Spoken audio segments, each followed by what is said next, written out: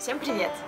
Сейчас я сижу на фоне предзакатного неба в Софии, столице Болгарии. И сегодня я почувствовала, что я хочу записать для вас одно видео, которое лично для меня очень важно, потому что сама я очень долго к этому приходила, и мне очень хочется поделиться с вами. Если мы еще не знакомы, меня зовут Инна, это мой YouTube канал. Если вы еще не подписаны на него, рекомендую подписаться, потому что я рассказываю здесь о своих путешествиях, лайфхаках, инсайтах и вообще о жизни девушки. И сегодня темой моего видео будут путешествия в одиночку. Я постараюсь рассказать вам не о нескольких причинах, почему путешествовать одному важно и нужно. Например, сегодня я проснулась очень поздно, и я никуда не вышла из своего отеля, просто потому что на улице дождь, и у меня нет настроения куда-то идти. И, наверное, это одна из причин, по которой так ценно путешествовать одному. Я расскажу о ней в первую очередь. Давайте начнем с того, как э, все происходит, когда вы едете в путешествие со своими друзьями, парнем, девушкой или компанией, а может быть семьей. Дело в том, что каждый день вам приходится планировать, что вы будете делать. Если вы не будете согласовывать свои планы с людьми вокруг, это кого-то не устроит, и в итоге вы останетесь недовольны отдыхом. Когда ты путешествуешь один, ты можешь ничего не планировать. Или планировать, но поменять свои планы в последний момент. Например, сегодня я хотела погулять по Софии и записать вам видео из самых интересных ее частей, но пошел дождь. Я осталась в отеле. Завтра я улетаю и абсолютно не чувствую себя виноватой за то, что я не сделала что-то. Я могу просто поменять планы и ни с кем об этом не договариваться. Иногда это плюс, особенно когда ты живешь в напряженном графике, у тебя много планов, много людей вокруг тебя и очень много коммуникаций. Иногда от этого нужно отдохнуть. Это была первая причина. Теперь переходим к причине номер два. Да все-таки тебе надоедает гулять одной или одному, я предполагаю, что вы видео посмотрите, и мужчины тоже, у вас появляется необходимость в общении. Что же вы делаете? Я становлюсь намного общительнее, когда я путешествую одна.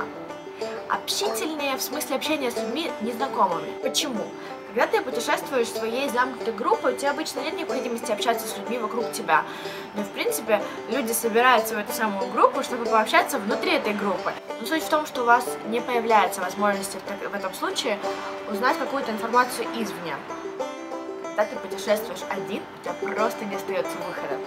Ты завязываешь маленькие диалоги в отеле, э, в лифте, где-нибудь с продавцами, и у тебя теряется этот барьер. Третья причина. Таким образом вы можете потянуть свой язык. Что я имею в виду? Каждый из нас, когда начинает учить новый язык, доходит до такого предела, который многие называют э, «понимаю, но сказать не могу». На самом деле мы все можем сказать, можем сказать все, что угодно, но у нас есть барьер. Этот барьер – стеснение. Очень банально, но нам очень сложно открыть рот и перейти э, в бытовых вопросах на язык, в котором мы не очень уверены. Были ли у вас ситуации, когда вы общаетесь в компании с иностранцами и своими друзьями, которые говорят лучше, чем вы? И когда вы понимаете, что на их фоне вы смотритесь уже не так удачно, вам не хочется пробовать. И вот именно в путешествии самостоятельном у тебя этот барьер теряется. Ты не стесняешься перед своими знакомыми людьми. Тебя нет друга рядом, который знает английский или итальянский лучше, чем ты. Ты можешь тупить сколько угодно, и об этом не знает никто, кроме продавщицы в супермаркете, с которой ты пытаешься настроить какой-то диалог. Причина номер четыре. Это причина чисто эмоционального характера, такого психологического. Э, дело в том, что мы очень привыкли находиться в компании других людей. Это зависит от того, где именно вы работаете, сколько именно у вас друзей, какой у вас круг общения, но в среднем мы привыкли иметь постоянные контакты с людьми вокруг. И иногда, особенно когда вы становитесь старше, получается так, что вы перестаете говорить сами с собой. Суть в том, что путешествие в одиночку – это возможность заглянуть внутрь себя и узнать, что же на самом деле вам нравится – что же на самом деле вы чувствуете. Самые крутые моменты у меня были, когда в своих путешествиях, хотя бы на несколько часов, я оставалась одна. Это совсем не значит, что путешествовать с друзьями неинтересно или круто, но вот эта вот возможность побыть одному на самом деле не тогда, когда ты не можешь найти себе компанию, а когда ты выбрал поехать куда-то одному, это кардинально отличается от этого состояния. Пятая причина вы станете самостоятельным. У меня пиликает Facebook на заднем плане, простите за это. Я уже запишу это видео, потому что сзади меня уже целый день идет дождь, и мне уже хочется рассказать вам все, что я хочу сказать.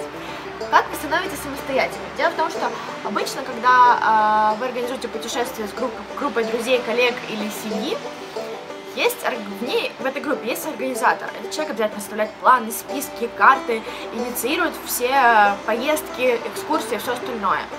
Дело в том, что это может вас устраивать или нет, но часто, если вы находитесь в более пассивной, пассивной э, позиции, вы перестаете что-то планировать сами. Вы, в принципе, не ориентируетесь по карте. Ну, странно, если у вас компания 4 человека, чтобы 4 человека доставала карту. Правда? И если вы по натуре не вот этот самый бойкий организатор, вы можете, в принципе, не спланировать ничего в своей поездке. С одной стороны, это приятно, если вы хотите расслабиться, а с другой стороны, в конце концов, вы можете обнаружить, что вы делаете совсем не то, что вам хотелось сделать всю эту поездку, но она уже закончилась. Когда вы едете одна или один, у вас есть возможность не только побыть наедине с собой, а сделать лучше свой новый иностранный язык или найти новых друзей, а еще и понять, как вы на самом деле чувствуете себя и чего вы стоите в незнакомом окружении. Был ли у вас уже опыт заселиться в гостиницу одному, сесть на самолет одному, добраться на общественном транспорте впервые одному? Вот это вот все нужно затестить. Естественно, в этом есть и момент обучения, потому что в незнакомой стране, в принципе, в любой, вы должны намного обстоятельнее подходить к планированию своего времени, маршрутов, карт, описаний, интернета, зарядок и всего остального. Вы должны постоянно подстраховывать себя. И вот в этом есть огромная ценность. С одной стороны, первый раз, когда вы поедете куда-то один или одна, вам будет боязно, но в этом нет абсолютно ничего страшного, если вы хорошо подготовились. Конечно, вам нужно учитывать особенности страны, в которую вы едете, а, безопасна она или нет, насколько. И я, в принципе, во всех смыслах за безопасность в путешествиях и во всех остальных сферах жизни, поэтому э, я не советовала бы отправляться в какую-то очень экзотическую страну, э, когда у вас нет такого опыта. И э, поэтому подумайте о том, чтобы, может быть, выехать в какую-то европейскую страну буквально на уикенд, когда вам хватит силы, веры в себя, и вы посмотрите, как это на самом деле работает. За моей спиной все хлеще идет дождь, я не знаю, видно его или нет. Я хотела сказать еще об одной причине. В моей жизни много раз случалось так, что у меня есть желание и возможность поехать в путешествие, но я не могу найти для этого компаньона. Я боялась организовать самостоятельное путешествие с самого начала, потому что мне казалось, что я еще слишком молода, все-таки девушка, были определенные опасения, и я сейчас могу сказать, что я немножко жалею о том времени, которое я пропустила, потому что я очень много не совершила поездок именно потому, что мне было не с кем. Сейчас я понимаю, что это опасение, она вообще не оправдывает себя. Я бы нашла друзей в путешествиях, я могу заводить друзей. А по поводу безопасности я тоже могу прекрасно позаботиться о себе и об окружающих людях. Поэтому, в принципе, я думаю, что если у вас появляется вот такое вот сомнение по поводу того, что вы хотите поехать, но компания вам не находится, Отбросьте эти сомнения, едьте один или одна. Пока вы будете ждать своих друзей, пока они заработают деньги или выбьют выходные на работе, вы можете уже, в принципе, объехать полмира. Не ждите других, вы не становитесь от этого плохим другом. У вас есть право по отношению к самому себе делать так, как вам хочется. Поэтому, если вы сейчас раздумываете, вперед! Ну и что, я вроде бы сказала все, что я хотела в этот момент. Если я вспомню что-то еще, я расскажу вам в следующий раз. Мне очень хочется пожелать вам, чтобы у вас была возможность и было время и какая-то моральная способность найти в себе силы и поехать в путешествие одному. Я советую вам спланировать небольшое путешествие, буквально на выходные, так, чтобы вы могли расписать себе все маршруты, все интересные точки, все музеи, все кафе, которые вы хотите посетить. Подумайте о том, что именно вам интересно увидеть в новой стране. Вот тут у вас есть потрясающий шанс наконец-то сделать то, что хотите вы. Мне очень хочется, чтобы вам это понравилось, чтобы вы это попробовали. Если вы уже путешествовали самостоятельно, напишите мне об этом, мне очень интересно. Понравилось ли вам это больше, чем путешествие в компании людей? Или, может быть, вы выбрали это для себя как стандартный способ путешествия? Или если вы только собираетесь поехать в такое путешествие, пожалуйста, тоже напишите мне, оставьте свои комментарии или пишите мне на фейсбуке, мне очень интересно знать ваше мнение. И да, если вам понравилось это видео, не забывайте поставить лайк, для того, чтобы я знала, что я стараюсь здесь не просто так. И подпишитесь на канал, для того, чтобы получать уведомления о моих новых видео. А я знала, что вас с каждым разом становится больше и больше. Меня зовут Инна, я рассказываю о жизни современной девушки со всеми ее вехами, от работы, путешествий, красоты и еды до технологий блокчейн. Об этом подробнее в следующие разы. Мне было очень приятно, что вы дослушали это видео до конца и досмотрели, посмотрели на меня Софии за окном. Оставайтесь на связи и пока-пока!